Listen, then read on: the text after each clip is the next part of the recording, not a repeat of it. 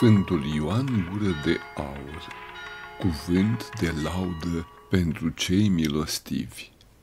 Cu adevărat, mare om și cinstit este bărbatul milostiv, pentru că milostenia, atunci când este adevărată, când cineva o face cu dragoste și de bunăvoie, nesocotind că dă, ci că primește dar, ca și cum ar dobândi, iar nu ca păgubind pentru că mai de folos este a nu face binele decât făcându-l să începi a te întrista. De ce te întristezi, omule? Au doar nu aștepți răsplătirea de la Dumnezeu sau voiești aici răsplătirile? Pentru ce ai părăsit milostenia? Cu milostenia se curățesc păcatele, iar nu cu negustoria pentru că mulți și-au luat plata aici, însă pe cei ce și-au luat-o aici nu-i fericește Scriptura, fiindcă s-au lipsit de plățile cele de sus că Hristos va răsplăti acolo ca și celor ce au pătimit pentru El până la sânge.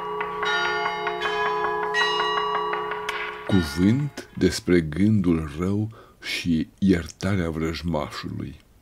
Un frate din Libia a venit la Ava Siluan, în muntele Panefo și i-a zis, Ava, am un vrăjmaș care mi-a făcut multe rele, că și țarina mea când eram în lume mi-a răpit-o și de multe ori s-a purtat ca un vrăjmaș, iar acum a pornit și oameni otrăvitori ca să mă omoare. Am oare voie să-l dau la dregător? Zisa lui bătrânul, Fiule, fă precum crezi. A zis fratele, cu adevărat Ava, de va fi pedepsit, se va folosi mult sufletul lui. Răspunsa bătrânul, fiule, fă cum socotești. Și a zis fratele, să ne ridicăm, părinte, să facem rugăciune și voi merge la dregător. Deci, ridicându-se și rugându-se amândoi, când au ajuns să zică și ne iartă nouă greșalele noastre, precum